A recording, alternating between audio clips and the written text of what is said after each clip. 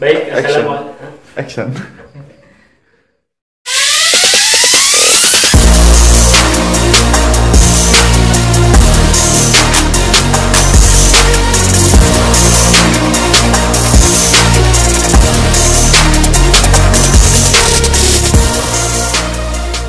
Baik, assalamualaikum warahmatullahi wabarakatuh. Berjumpa lagi dengan gue Maher tentunya di channel Mahresa. Oke, kali ini gue mau nge-review atau nge-unboxing sebuah lampu LED, tapi bisa dibilang bohlam juga. Ya, bohlam baginya lah yang bisa dipakai buat eh, menerangi saat kita bikin video pada malam hari. Jadi menurut gua lampu bohlam ini memiliki kelebihan tersendiri. Eh, tapi sebelum gua lanjut ngebahas tentang bohlam ini atau lampu ini, kebetulan gua mau memperkenalkan kalau gue ini lagi ada di studionya atau di rumahnya Mas Rusdi Al Amin yaitu yang punya channel Gempek. Nah, jangan lupa subscribe ya. Linknya ada di bawah deskripsi video. Silahkan lihat aja channelnya. Jadi sebenarnya kenapa gua coba atau ngambil lokasi di studionya Mas Rusdi Al Amin di channel Gempek 05 gue nyoba-nyoba lah ya. Nah, gue pengen cari suasana yang beda. Jadi kita langsung aja ya. Jadi kita buka aja lampunya seperti ini. Jadi lampu ini itu memiliki kelebihan alias unik menurut gua. Dan lampu ini tanpa kabel atau listrik kita bisa menyentuhnya dan ini nyala seperti ini. Jadi cukup terang ya. Terus kalau misalkan kita mau bikin video unboxing atau video di studio yang gelap tanpa penerangan lampu, kita bisa pakai eh, kepala ini ya atau topinya. Jadi ini bisa langsung nyala dibeginikan. Kalau misalkan kita bikin video unboxing, kita tinggal gantungin aja. Nah, misalkan di sini ada meja kita taruh begini kan. Jadi menurut gue ini eh, salah satu solusi lah buat kita yang pengen beli LED buat penerangan audio buat kalian youtuber-youtuber pemula. Jadi menurut gua ini tuh rekomendasi banget. Gua matiin dulu ya. Terus ditambah kelebihan-kelebihan yang udah gue sebutin. Jadi lampu ini itu murah. Eh, ini tuh yang 10 watt harganya 90.000 atau bisa lebih murah di daerah kalian tergantung daerah biasanya beda harganya ya. Jadi nanti akan gue coba di tempat yang gelap. Dan gue sebelum uh, gue coba di tempat yang gelap gue mau menjelaskan kelebihan lampu ini. Yaitu ini praktis. Misalkan mati lampu ya kita bisa bawa pegang begini doang itu udah nyala. Atau misalkan di rumah kalian sedang mati lampu ini bisa kita bawa dan kita gantungin buat penerangan sementara dan ini itu bisa kalian pasang di kamar tanpa harus dipasang di atas loteng itu ya di atas asbes. Apa sih namanya itu yang biasanya buat naruh lampu itu. Jadi tinggal kita beli adapter atau dudukannya seperti ini. Kita langsung colokin pasang cabut pasang cabut tiap hari nggak masalah kok.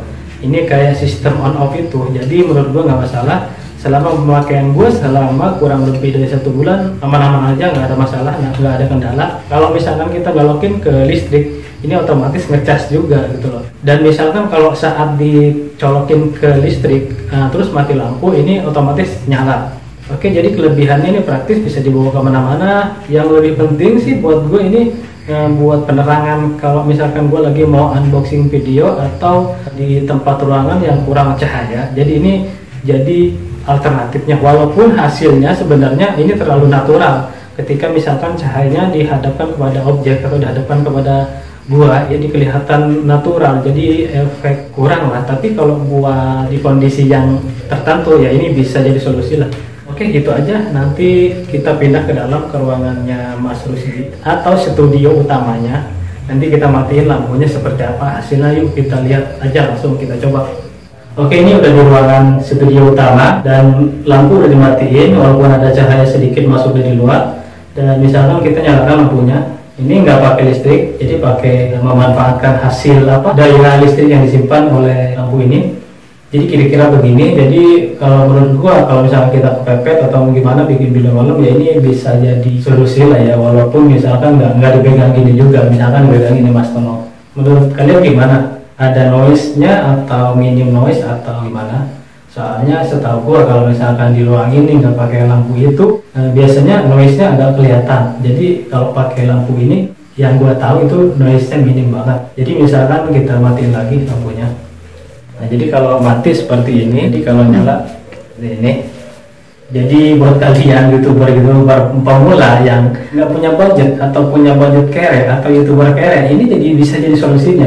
Kita nggak boleh malu kita harus pede. Soalnya youtuber youtuber yang terkenal sekarang juga yang udah punya nama itu juga awalnya mulai dari nol. Yang penting kita optimis yakin kita konsisten kita selalu membuat channel-channel yang informatif insya Allah ke depannya kita juga setidaknya dikenal orang gitulah dikenal sebagai orang yang informatif gitu kan memberikan informasi yang bermanfaat jadi menurut gua kita sah saja dan kita boleh uh, ngambil ide atau inisiatif memanfaatkan sesuatu yang biasa aja menjadi yang luar biasa menyesuaikan dengan budget yang kita punya. Kita nggak boleh maksa juga misalkan budget kita sedikit terus kita maksain buat beli ini beli itu akhirnya kita sudah punya atau gimana malas bikin video kan. Yang penting kuncinya kita konsisten dan rajin-rajin bikin video yang yang kreatif lah. Jadi kira-kira begitu. Jadi sekian aja dari gua gua tutup di sini aja mudah-mudahan tutorial singkat ini singkat apa enggak ya? Bermanfaat buat kalian. Tapi sebenarnya gue beli lampu ini lebih kayak buat unboxing sih. Pencahayaannya kalau ke bawah itu cukup. Tapi kalau buat begini-begini kurang sih. Karena menurut gue terlihat terlalu natural muka gue ya. Atau objek yang disorot lampu itu. Jadi ini lebih ke unboxing cocok lah ya. Jadi kalau malam-malam mau unboxing misalkan kita kejar target punya PR video banyak boleh lah kalau misalkan pakai lampu ini. Jadi intinya buat Mas Rusdi ya channelnya yang Gempek 05 jangan lupa di subscribe channelnya Gempek 05 ini gua hitung-hitung saya tengah ingin memperkenalkan lah ya studionya kayak gini keren lebih keren dari punya gue sih. Karena di punya gue emang enggak di atas cuma nggak di apa-apain belum direnovasi. Jadi sekian dari gue gue Maher dari Jonggol. Semoga video ini bermanfaat dan